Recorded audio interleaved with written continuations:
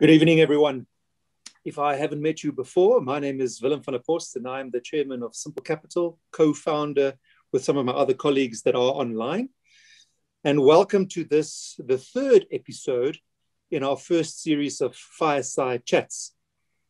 Uh, we've got a couple of housekeeping rules that I'll slowly work through while we just wait for the last couple of logins, people to typically drop off the last WhatsApp call or email that they're doing and tuning into this episode. Um, and, uh, and we'll just quickly talk about housekeeping in, in our next slide while we give everyone that last minute to settle down. And hopefully, if you're in evening time or late afternoon, wherever you are in the world, grab that glass of wine and sit back for what hopes to be a interesting chat around democratization of video and how the world has changed in this pandemic. Uh, Tim, if I could just ask you to go to the next one while we buy a minute or two for people to either grab that glass of wine or the mimosa if you're having breakfast, depending on your time zone. Tonight's episode, we won't keep you longer than an hour. We know that time is a commodity and um, we respect your time. So we'll, we'll promptly end within an hour. During our episode, please have a look at the Q&A capability of Zoom. There is a button, depending on if you're an iPad or a browser or a smartphone. Um, and if you click on that Q&A button, you'll be able to pose questions to our panel, either during the conversation that we have with Steph or when we have the actual panel session. And so please feel free to use that. If you want to go right ahead today, right now, in fact, uh, log in uh, to that Q&A part and pose a couple of test questions. We're happy to to, to see you trial and error. Um, and then, as you'll come to know, if you're not already a part of the Simple Capital community, feel free to join our community. It is the way through which you are able to access some of our technology deal flow and also be included in some of those investment opportunities. And at the same time, where you're able to log in and find pertinent information in the exciting world of early stage technology companies. And we'll show you a QR code during the course of this episode that you can hover your camera over or copy the link from and then make sure that you join that community. All right, so that's about two, two and a half minutes or so. Um, hopefully you're seated now, you're uh, nice and comfortable. And uh, I can tell you a little bit about what capital, uh, Simple Capital is and, and, and how we go about our business on the next slide. So we've tried to put this into depictions because I think everyone's got Zoom and you know webinar fatigue. So we try to make this a little bit more visual and interactive. And so from the left, the purpose of Simple Capital is to democratize early stage exponential growth opportunities. And we do that in a basketed fashion and shrunk ticket size fashion. So what I mean by that democratize is we allow and help people get access to early stage deal flow we know that not everyone with um, uh, every walk of life has access to these early stage technology investment opportunities. And so part of our value proposition is that we bring you access to those opportunities. Early stage, we're not a private equity firm, we are a VC.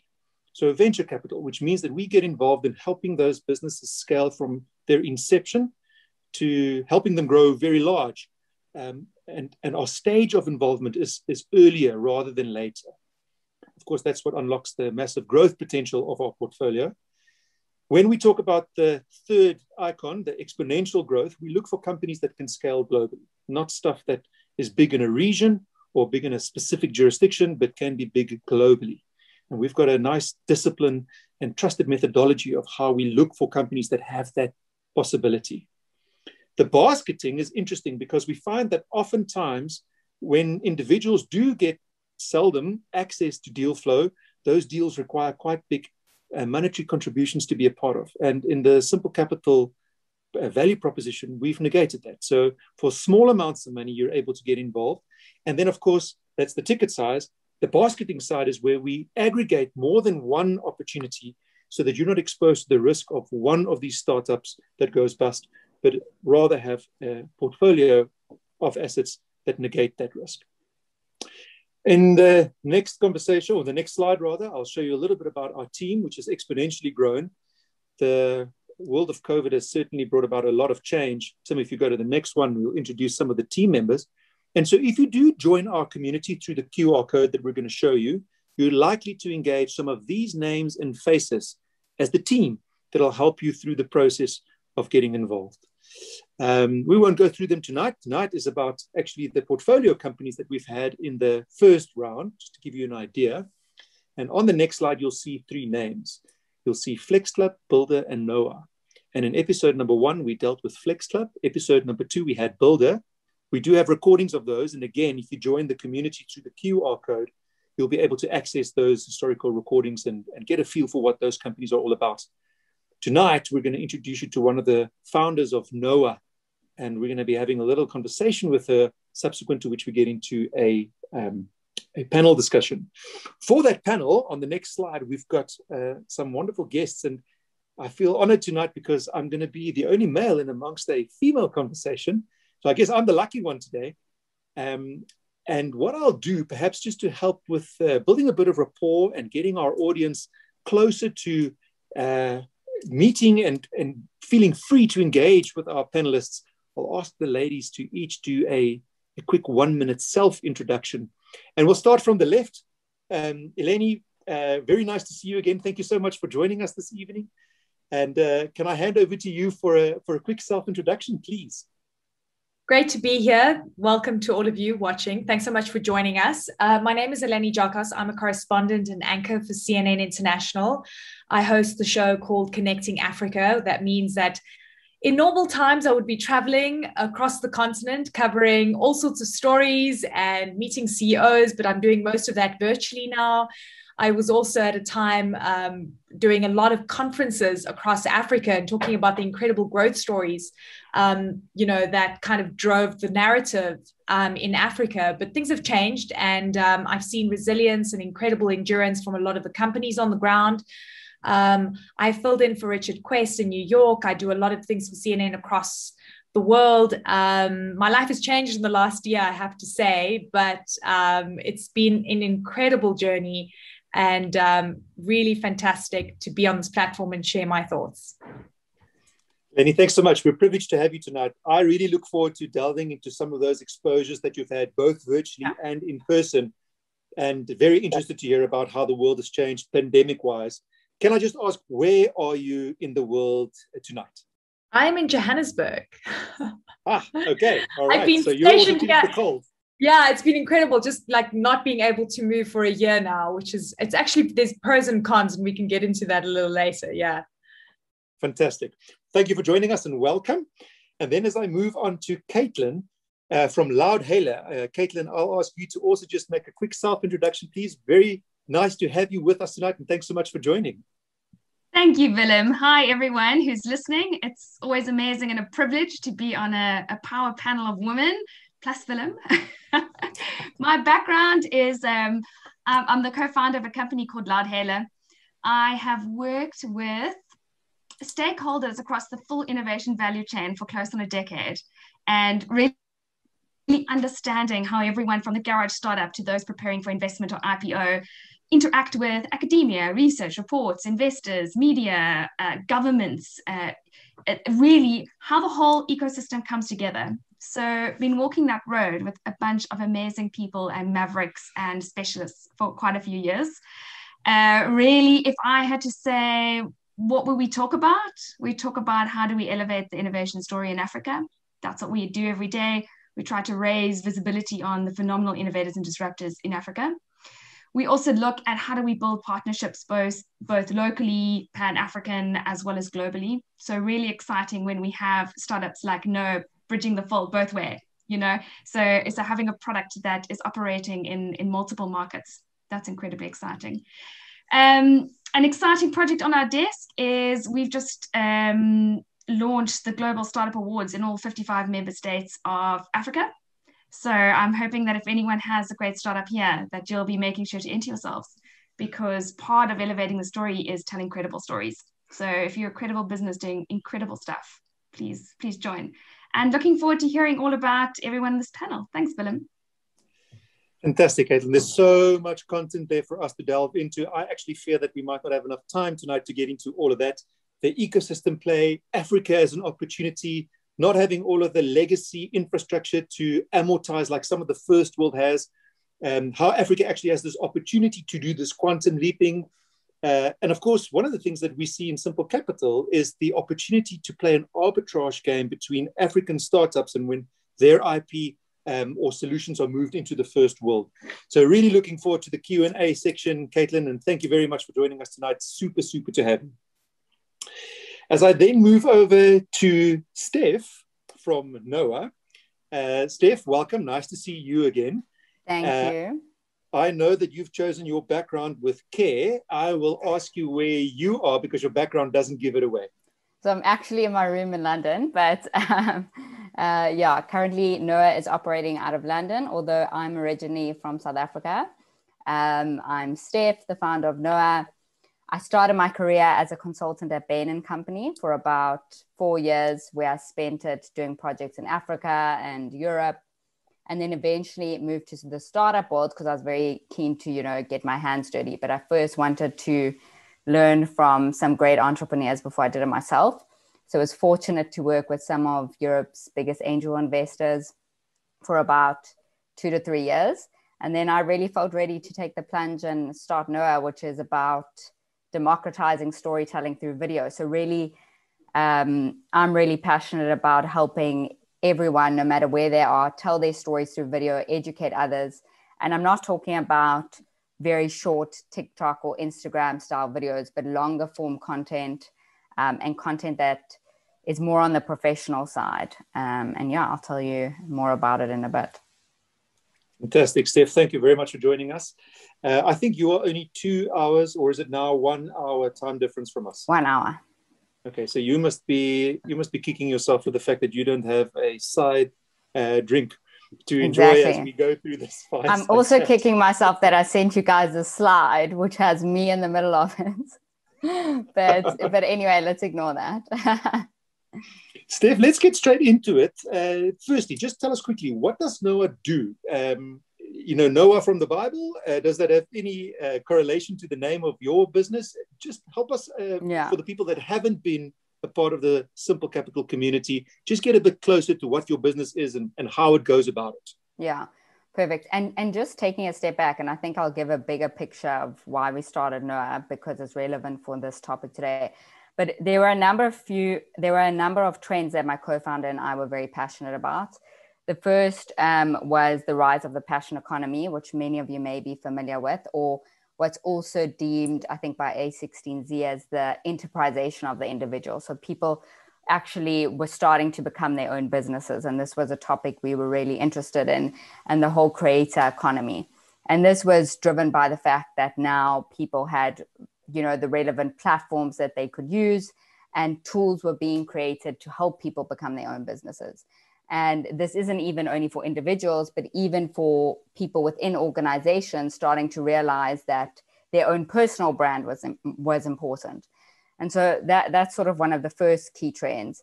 The second was how powerful video was. So my co-founder spent about 10 years in video creation and we both saw how powerful it was as a medium to really connect with others. As soon as you started to see someone, you really got a gist of who they were um, you were bought into what they said or you weren't bought in but if you're bought in you could really start to build a connection with with that person. Um, and then finally obviously as i mentioned sort of this shift towards the way content was moving. So you used to have very big brands that would have famous people on screen and just talk about their products. And because of social media and these platforms like YouTube and Instagram, that's really changed to being a lot more about real, authentic people telling stories that people want to hear. So, m- shifting more from what are the problems my business is trying to solve and how do I add value and what's my product, and that more selling into how do I create content that my audience can resonate with and actually learn from. So, content that has purpose and meaning. Um, and so we were very passionate about this. And after speaking to many people, we realized that creating longer form educational video was way too hard. At the moment, there are two ways to do it. You either you know, figure out how to do it yourself. The average six minute YouTube video takes about seven hours to be produced. And this is because obviously you need to be good at script writing, you need to be good in front of the camera, you need to know how to edit, you need to know how to have a good background. Exactly, have a good background in lighting, which is really difficult. Um, or you would go to an agent who would do it for you if you were lucky enough and spend about, I mean, in the UK, it's about £3,000. So the whole process was just completely unscalable. To actually create and build an audience, you had to be either spending hours and it'd be your full jo- time job or hundreds of thousands. So if you think about the likes of Gary Vaynerchuk, he has his own media team of like 20 people helping him create all this content. And so what Noah is really trying to do is enable people from all walks of life to tell their story um, with video, all the way from coming up with ideas to supporting them in script writing, um, their performance in front of the camera, how do they find the right setting, and then making post production easy so that with us at the moment we can make someone can make a video in just 90 minutes. Obviously that declines the more videos you make. And yeah the ambition is to really be a smart tool or almost like a virtual director um, for someone in front of the camera. Um, so, so, yeah. so can i just ask there so democratization in your world does that mean mm-hmm. you're allowing more people to make videos or you taking this complex production methodology and and making it more accessible for people that don't have those budgets and those tools available? Or is it both? Or, or, how do you view that? It's both. So the first is there was this massive barrier around video creation. Like i said it was time it was cost and mm. there's something people don't really talk about, which is how overwhelming it is to get in front of the camera and actually speak to people. So, like right now, for example, before this, we all had to psych ourselves up and, you know, feel confident. People are natural, it's not a natural thing necessarily. And so, there's something about making the process easy, but there's also something about creating a product that puts someone at ease so that they don't feel nervous and they feel like, okay, I'm being looked after. My my first video doesn't have to be perfect. People care a lot about what they look like, sometimes more than what they're actually saying to their audience. Hmm. And you touched on authenticity a little bit earlier, and I suppose what you're saying, or, or, uh, what's what's linking to what you're saying, is that when you care so much about that veneer, perhaps you lose a little bit of your authenticity, and maybe you're doing it because you feel like the tools will let you down. And so democratization kind of sounds like it's going hand in hand with authenticity as well. Agreed. And I mean, there's two different w- streams of thought when you're making content and building um, a relationship with your audience. So, some um, people who are more active in making content make a lot of video, um, almost to the point where the quality of their video isn't as good as it used to be, but they're more focused on getting awareness of what they're trying to say. But each video will sort of repeat itself. And then you get other creators where every video they make is important. So we are believers that quality is important. Um, and that's why by being involved in every step of the process, you create something that you could actually be proud of. And creating something you're proud of will incentivize you to create more good quality pieces of content. Mm-hmm. Last question from me, just on this section, is when you say longer form and shorter form, Mm-hmm. I understand that I'm, I'm, not a subscriber, but my understanding is that TikTok is sort of a couple of seconds. YouTube is anything from a couple of seconds up to hours. Where does Noah play? So we play in sort of 30 seconds to 20 minutes, I would say. Um, our sweet spot's probably under five minutes. So content's moving towards being more shorter, but then you can combine it in a series. So if someone doesn't have time to watch a full 20 minutes, they can watch something at like 10 minutes at 2x speed, for example. Um, right.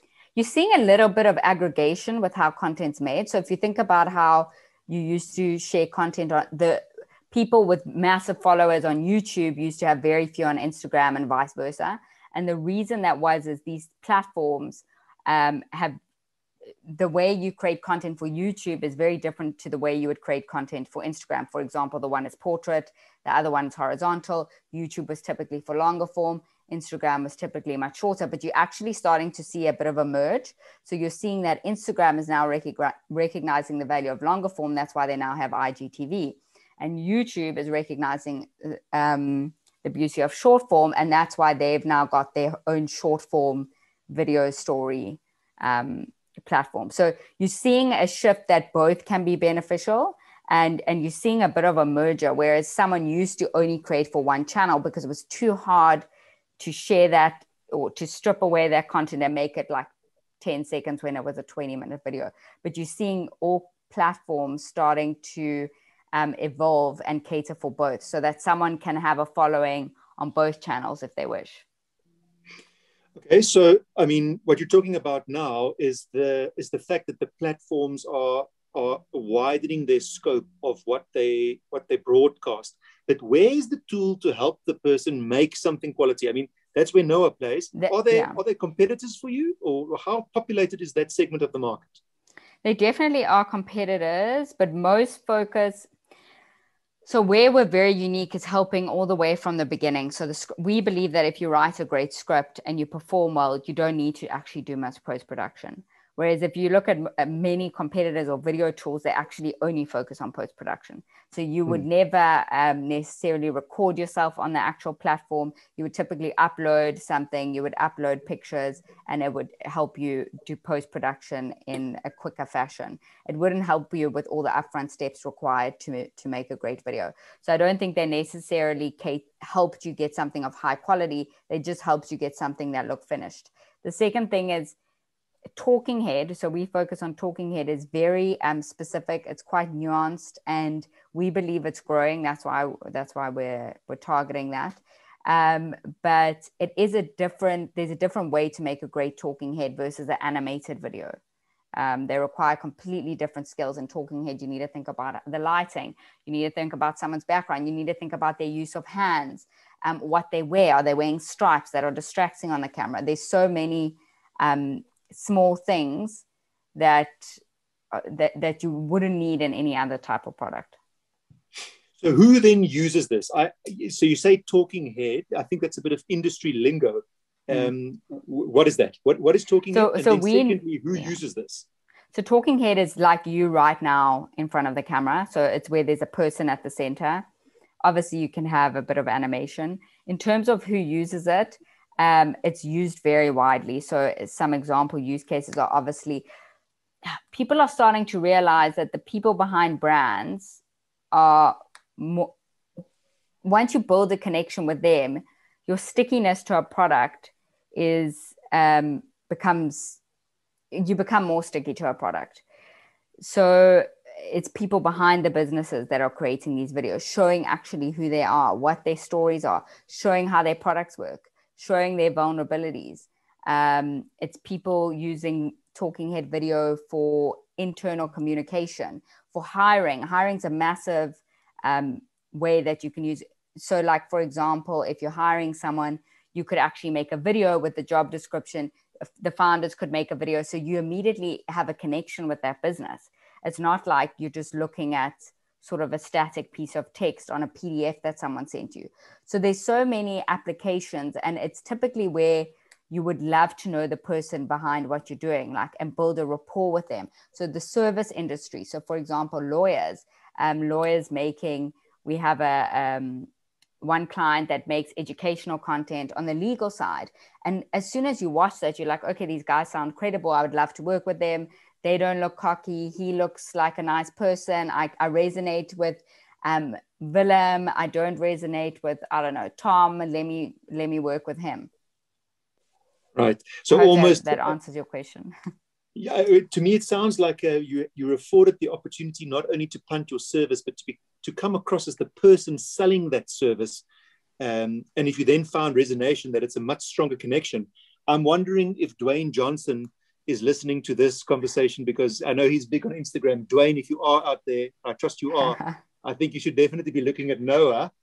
Uh, from a business side or corporate, it sounds to me, Steph, like this is something in vaccine rollout that an Adrian Gore should be looking at. Is, is that also a typical client for you?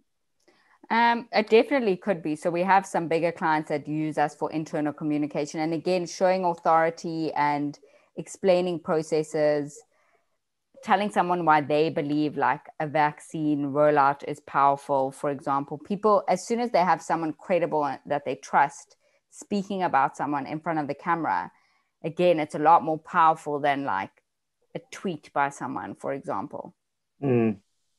and so you're seeing this as a marketing tool and an internal conversation uh, driver or, or, or, or message broadcaster definitely. I would say the sweet spot's more for external. Um, we like to, marketing's evolving. So I think it's more about educational content, but educational content is sales and marketing. So they all kind of fall under the same bucket. But I would say most of our videos more on the marketing side. That said, internal communication, it's a great way for bigger corporates to um, scale how they speak to their staff for staff training. Um, another example in hiring, by the way, is I'm sure most managers, when you're interviewing, you interview 20 people in one go and you have to repeat yourself 10 times on who you are and what the business is. Like that could mm. have just been a video you shared before and you focus on the candidate. Right. And so, Steph, how is this business going? I mean, I, I, hear the idea. I clearly see the passion and the expertise involved in building this product. How is your business coming along? So it's great. I mean, it's very early days. So we we started in June, and we're very fortunate to have Simple Capital fund us um, recently. At the moment, we're very focused on product building and acquiring clients and really learning from them. So at the moment, our clients get sort of a hybrid between a tech product and a service.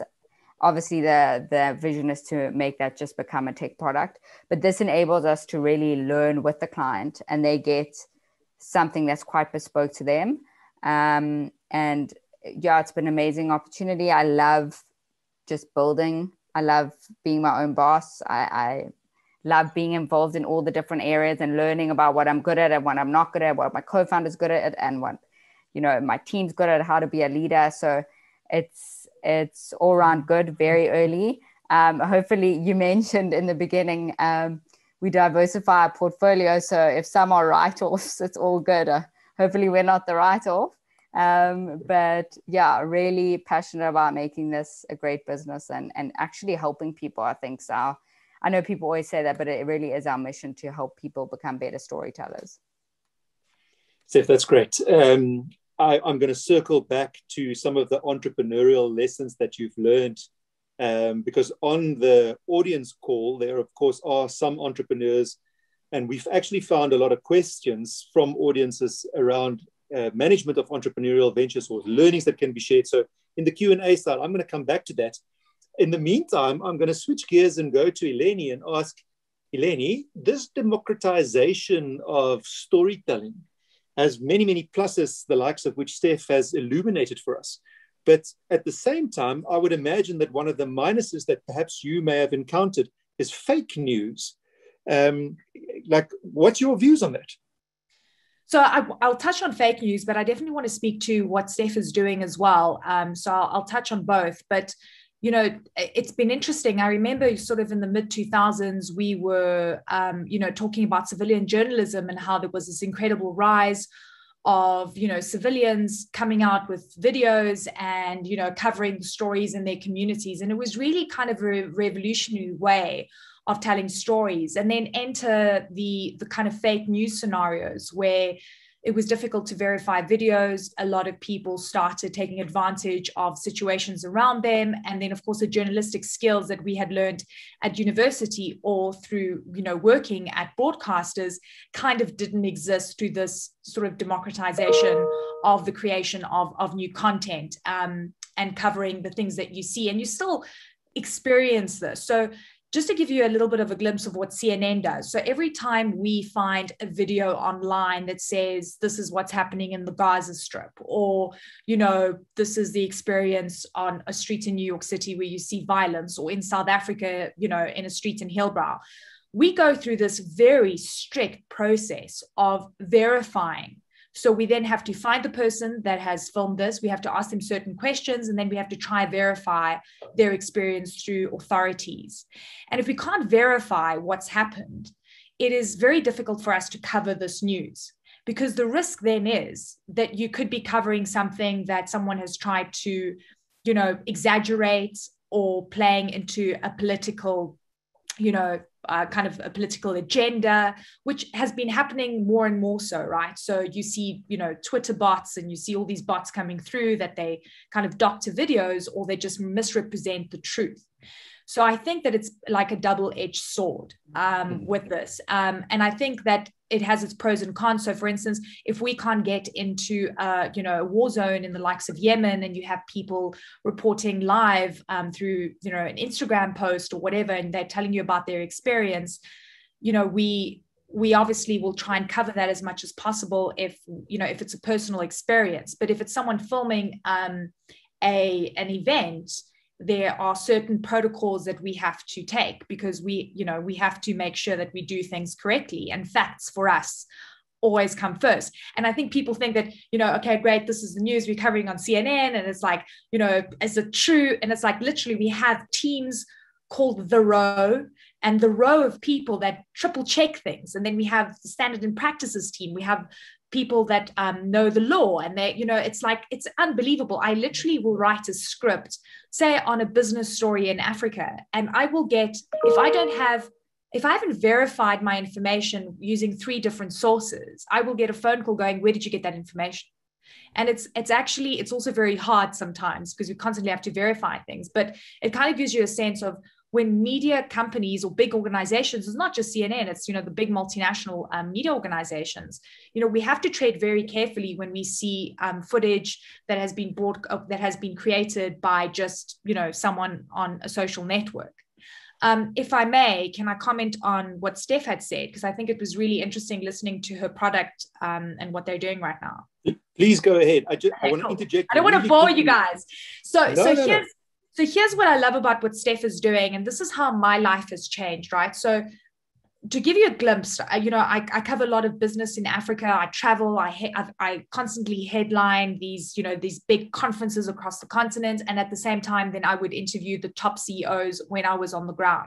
So now I've got a problem. I can't go anywhere, but I still need to speak to these CEOs, and now they've got these really bad um, shots right? They've got a bad background and bad lighting, and it looks like a an S show, right? This is a safe space. I can say what I really snowstorm, feel. snowstorm, snowstorm, right?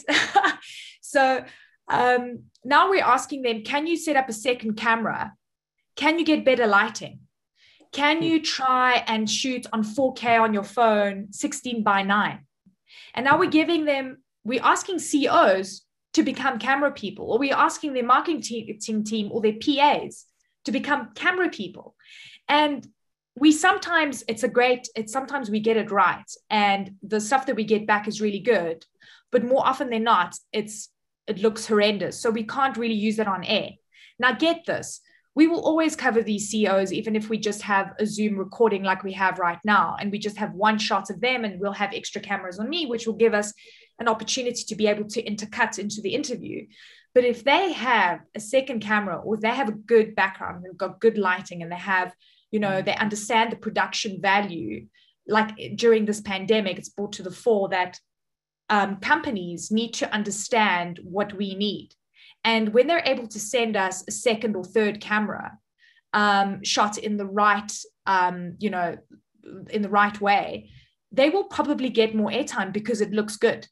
Yeah, because TV is about looking good, right? It's about telling the story in the right way.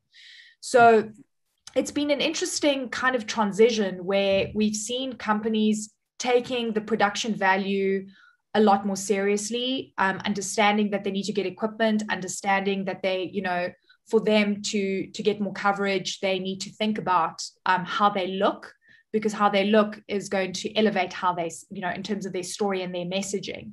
And you know, messaging is fantastic. But if you've got a message that's in bad quality and someone's watching it on TV, it dilutes, dilutes the impact. Absolutely. So that's why I think what Steph is doing um, is is truly phenomenal because it does a couple of things, right? So it helps corporates, but I'm thinking as well that the producers that we work with on the ground and the you know we work with a lot of freelancers at CNN, they don't have the right equipment it's expensive to get the right equipment. It's expensive to you know get these big kind of cameras that we're used to using in media. And if you can democratize firstly the the, the kind of equipment the infrastructure that you need you can have help firstly the upcoming journalists you can help freelancers you can help production companies and then you can obviously help corporates. Um, and that's what I think for me sounds incredible value for in terms of how it can feed into CNN or other companies telling their stories. If I'm listening to you, I'm hearing, Steph, uh, a major opportunity where Noah might have to put together a little prospectus for CNN to consider using to help impactful stories get delivered globally. Yeah, obviously, we would love that. Um, and I totally agree with what Eleni said. And it's not about looking perfect, but if you're like, have you guys ever try watch a video where someone's holding a camera and it's shaking and like they they're lighting and they're completely overexposed or their face is in darkness and there's a window behind them. It is you won't, you won't watch it. We won't we don't even we won't even use that on camera. Exactly. We will try and reshoot it. It will just not even make it to air.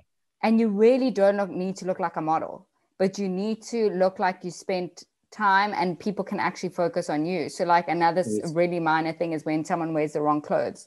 It sounds weird and small, but like also like zigzags, you're just looking at their shirt the whole time, like mm. not at what they're actually saying. Before I go to Caitlin, uh, Eleni, I just wanted to ask that fact checking exercise. Uh, I mean, the responsibility associated with telling the news and making sure that true stories are being broadcast. How does that balance against the relevance? Because it sounds to me like that process might take a bit of time. And CNN obviously wants to be first in line to tell breaking stories. How do you how do you manage that balance? Just so, out of interest. Yeah, and it's it's a really great question. And here's the thing: facts come first. I mean, I'm not trying to like you know kind of throw the the slogan uh, to you and your and and the people that are listening, but the truth is that if we cannot verify something, we will rather wait until we can before we come out with that information. Because if there's a chance that it might not be truthful, the reputational damage is hmm. so enormous that it's not worth trying to take a bet on it. We don't take bets on the truth. It is we we do our checks and balances and we make sure that it's factual before we come out with it. So I mean, I think that's the misconception, right? Because there's been so much negative sentiment towards CNN, and we know that it has come through from sort of a political agenda, and you know, it's been interesting to kind of watch it play out. Um, and then when I see what's happening internally, and I don't get a memo going, Eleni, you need to say this today, or you need to cover this in this way today you know and i think that that's the misconception is that i'm told what to say. In fact journalists on the ground and the reporters and the correspondents we do something called news gathering. We gather the news we give um, you know we we verify we give our sources. Then there's another fact checking process and everyone's checking and checking and checking before we we come out with it on air. So there's this huge process that goes on internally. Um, and then yet and yet we've been vilified you know mm-hmm. as people that have been kind of pushing you know an alternative agenda that is against the masses, which has been kind of crazy to watch. Um, but and I, I, can reassure you that that the kind of work that we do in the background has been incredible. And I also have to say this, and I keep on saying this because honestly, these conversations come up even when we're out at dinner with friends. You know, if it was, if we were being told what to say or we were lying, I promise you there would be so many whistleblowers over the years that would have like completely burned us out of the water if this was true and it's absolutely not. Well it sounds to me like the last four years in particular might have been uh, slightly harder for cnn given some of the political agendas that have been afloat. Yeah. we'll reserve that for commentary from our audience a little bit later. I want to i want to switch to caitlin and ask you're involved in the in the uh, scaling of this ecosystem and the and the building thereof. Um, what do you find are some of the preclusive factors for for startups and for entrepreneurial ventures to to get that scaling and to play their role in the in the ecosystem? Um, as a holistic player in this space is noah something that could that could play a role in helping bridge some of those uh, mm. barriers or are there other barriers that we should be talking about as well? Well willem that's like a webinar on its own but but let's let's focus on noah for now well, you know, I I was intrigued when when you guys approached me and said, "Do you got do you want to have a look at Noah and give us your thoughts and be part of this conversation?" So, Stephanie, first of all, well done and well timed. Um, I think if you think about everything Eleni has just said here, the reality is part of what we do at the Loudhailer is a publicity service, and when we're having to work with storytellers, journalists, and news outlets around the world, the companies that are able to put forward reasonable to high quality clips are the ones that are getting the airspace, right? Mm. In general. So obviously counter checked with quality, fact checking, all of the like. But if if if I were to send Eleni something now, the first thing Eleni's going to look at is say, oh, this quality's terrible. Like, I don't care how good your story is, I can't work with it.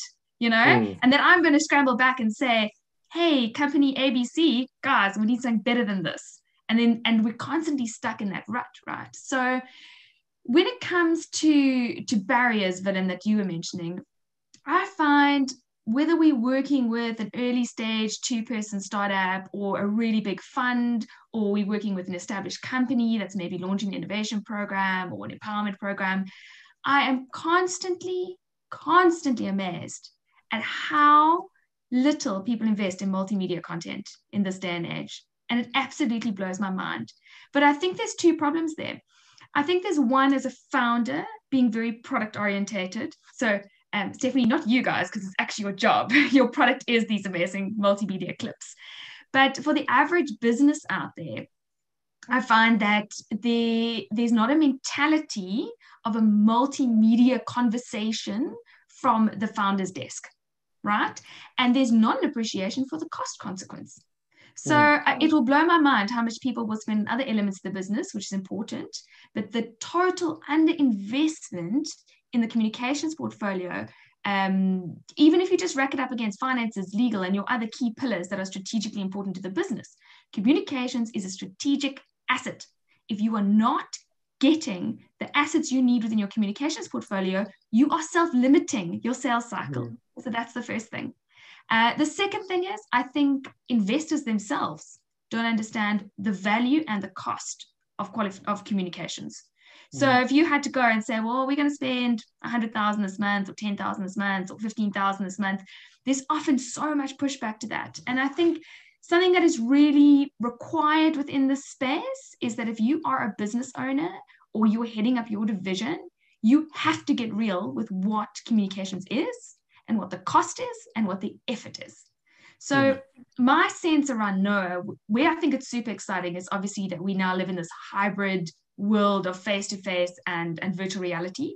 So if you're able to provide news out clips and, and your social channels with really high quality content, you you're making the right strategic play right now. So that's that's the first thing. The second thing where I really get excited is what Noah is doing is solving a problem meaning that hmm. we can stop focusing on the problem and start deepening the quality of the conversation. Hmm. And that is where I think there's this massive requirement for all of us is we can't say that video production or multimedia production is so expensive that we can only do it sporadically or ad hoc. How, how does that stimulate dialogue? How does it deepen a conversation? And a lot of what we're battling with in, in the African innovation space is that the conversation is unbelievably superficial. Mm. So we're talking about who won an award, who launched a new product, and who, who raised what investment. And that's pretty much where the conversation stops. Now, really, what I hope to see between women and partners like Eleni, myself, and Stephanie over the years to come is to stop focusing on how we're making the message and distributing it, stop focusing on educating people on how to shape their message, but actually start being in public conversation spaces where our conversations advance and evolve. The reality is the whole world is looking at Africa right now. We are one of the final frontier markets uh, in the world.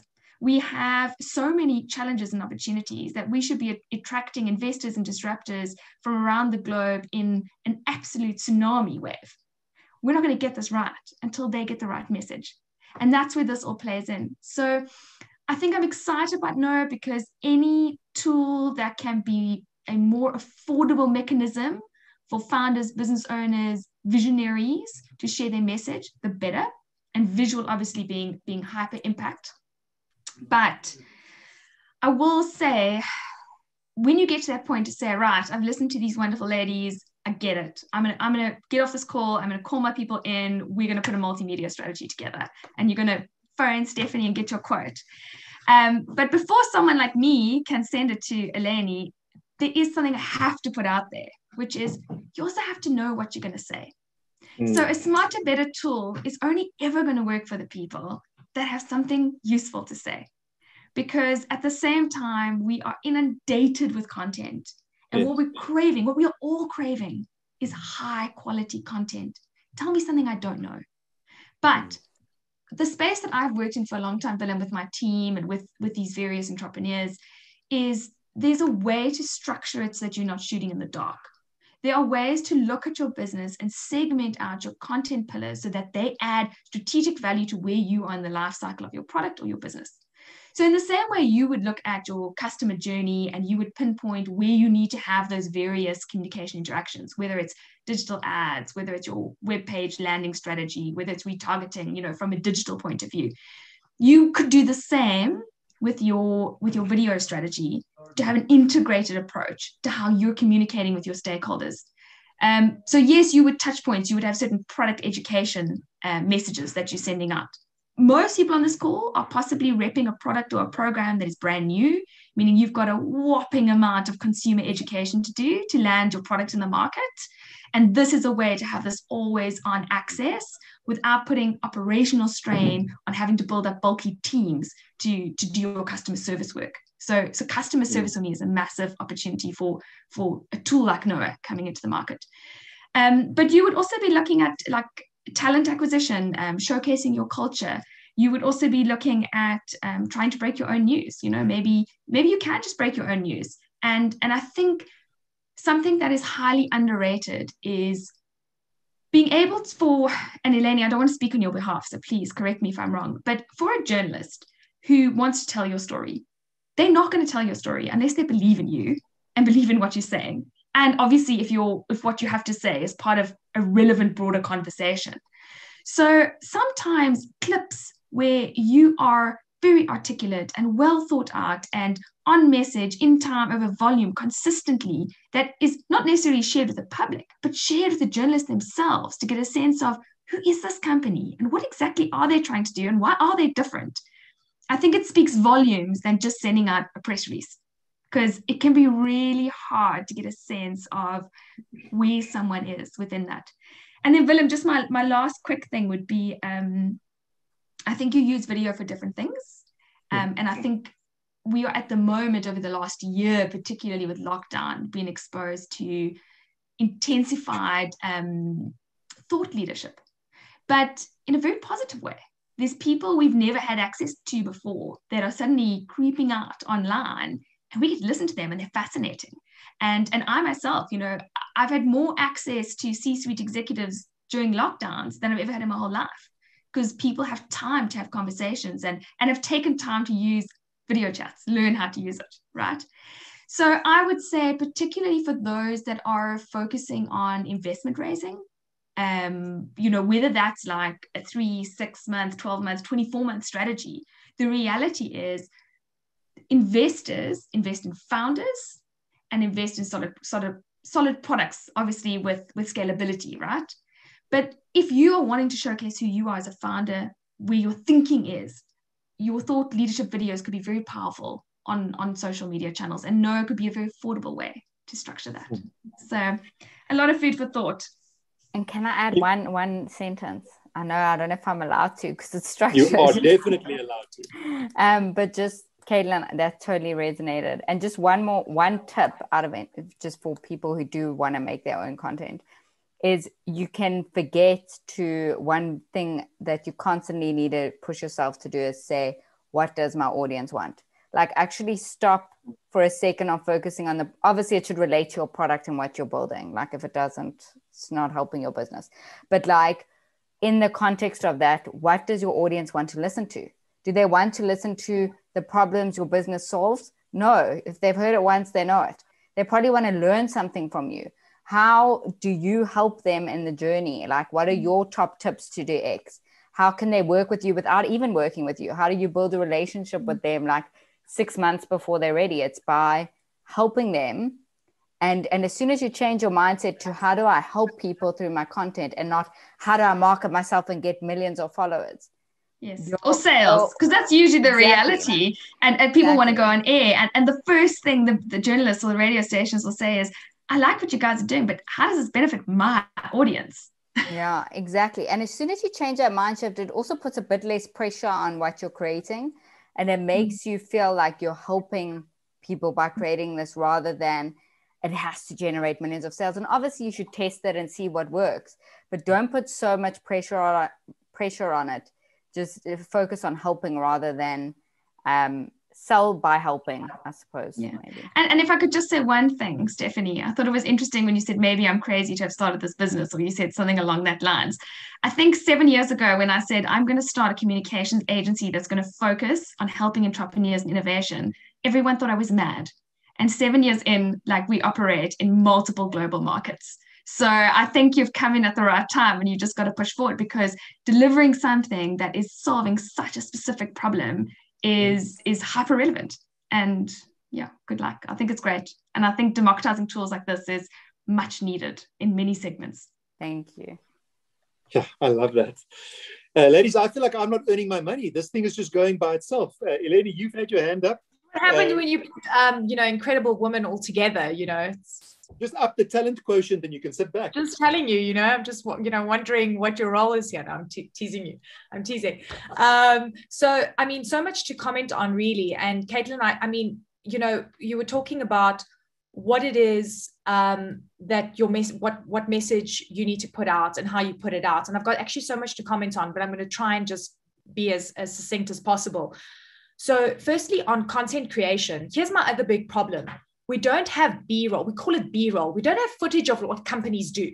So this company, for example, you know, a, a company I, com- I, covered recently, it's called Kobo 360. It's an incredible kind of Uber for trucks. And we had to go and get footage um, of this company doing work. But now, if these companies are doing, are creating their own footage and they're showing us what they're doing and they have that footage to share with us, that takes something out of our value chain in terms of things that we need to go shoot. If they know what their message is, it helps us. But I feel that there's always been a disconnect between what journalists are thinking about and what CEOs are saying. So CEOs are going, you know, our company's based on four pillars of blah, blah, blah. I promise you, if any CEO that's listening talks about four pillars in anything that they do in terms of content creation and, and, and messaging, you have absolutely failed. I will cut that out of the interview. I will absolutely not use it. What we care about is how do you differentiate yourself in the market? What are you actually doing? And don't hide away from your mistakes and your challenges. Own them and tell us how you're solving them. That is the kind of stuff that we will want to cover. And those are the questions that we were going to ask you. So, the angles that you pick, the messaging is really important. I also find that CEOs and executives don't create personal messages. So sometimes personalizing things really does help. So talking about their story, talking about their journey and how they've come to where they are really is part of of of of the big message, right? So the one company was saying, look, I was trying to move goods from Ghana to Nigeria. It took me 4 days it's the same distance that would take you know 12 hours in the united states so i wanted to solve a problem now that personal story absolutely resonates it resonates with the clients it resonates with my audience and it resonates with me as a journalist and i can use it as a starting point to start you know kind of asking questions so I think executives need to move away from trying to sound too corporate or speaking to their shareholders about their four pillars of strategy or whatever you guys are doing in the boardrooms. Forget about boardroom speak.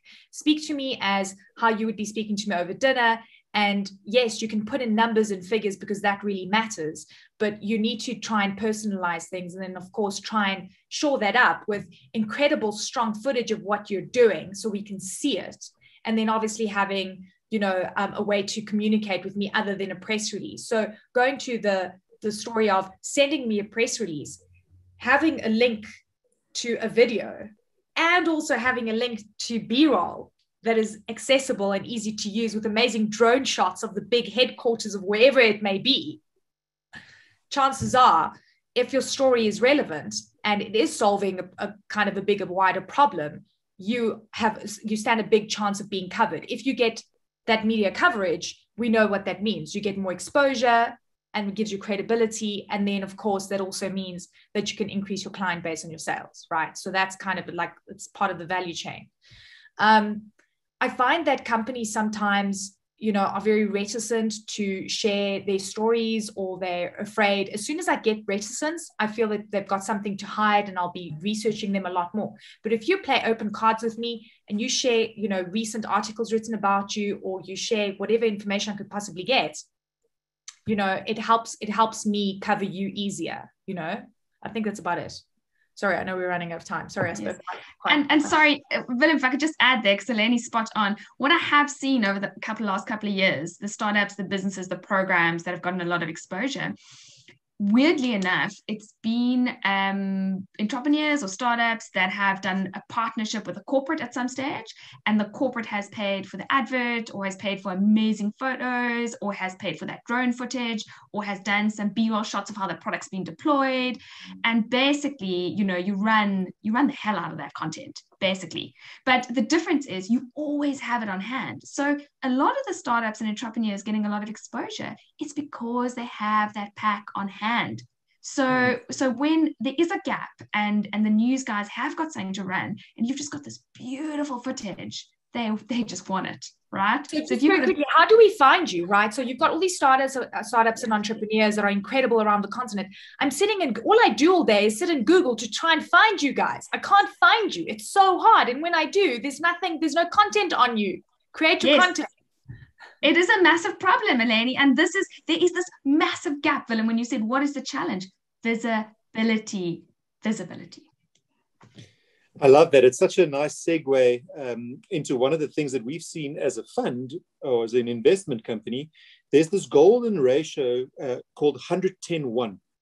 100 people talk about solving a problem, 10 actually attempt something and get active, one is successful. But the interesting thing is that of the nine that fail to leave you with the one that was successful, of that nine, seven fail for the same reason. And it's not team, it's not product, it's not funding, it's not corporate structure. It's actually having the ability to connect with a market to whom you, you know, not just sell, but whom you can expose yourself to to build credibility and, and brand awareness.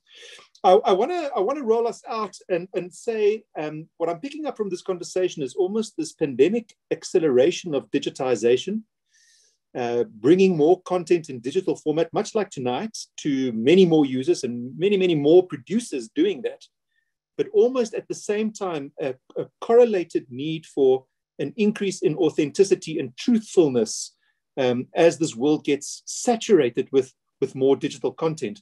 I'll ask for closing comments from, from each of you ladies, and, and we'll end with Steph. I'll start with Eleni. Um, and then while that's happening, perhaps we can also just quickly throw out that QR code again for audience members to join our community where more of what you're seeing tonight happens on a regular basis. And so, Eleni, just in closing thoughts from you? No, some of the most incredible stories have come to light for me uh, during this pandemic. Um, and it's been hard to find some of the companies. Um, and we've been able to guide them through the process of creating content. And, you know, some companies have actually gone out to shoot B roll on our request.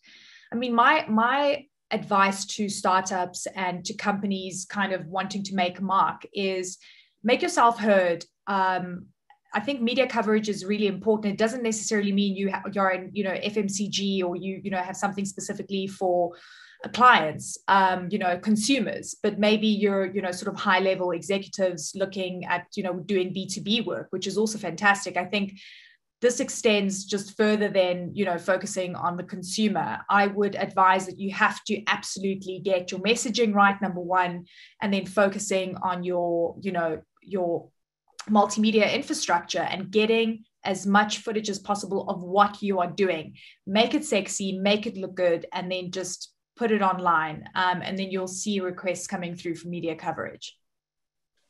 Fantastic eleni. It sounds to me like there's a noah and offernet both simple capital uh, portfolio companies combination that could help users do exactly that. Uh, Caitlin, any closing thoughts from your side? Yes. Um, I want to build on to what Eleni said because she's spot on with those two points.